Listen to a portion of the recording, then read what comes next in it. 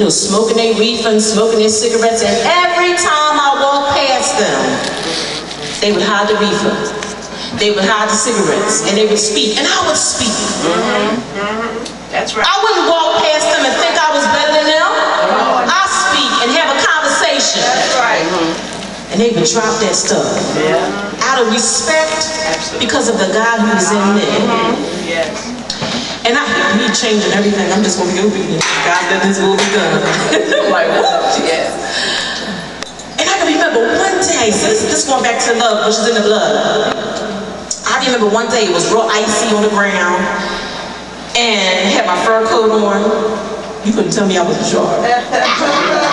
Got out the car and fell on a piece of ice that was near the wheel, and my pocketbook flew. Wallet, keys, everything flew out the pocketbook. And here come Yes.